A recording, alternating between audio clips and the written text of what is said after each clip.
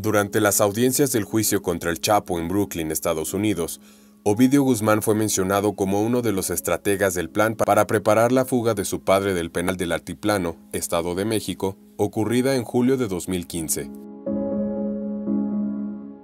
Según pruebas presentadas en el juicio del siglo, el escape del Chapo se realizó con la participación de sus hijos Ovidio y Joaquín Guzmán López.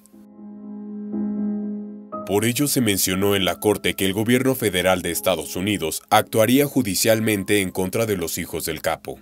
Junto a su hermano, Ovidio fue acusado en el país norteamericano por cargos de asociación delictuosa relacionados con drogas ilegales, según el Departamento de Justicia de Estados Unidos.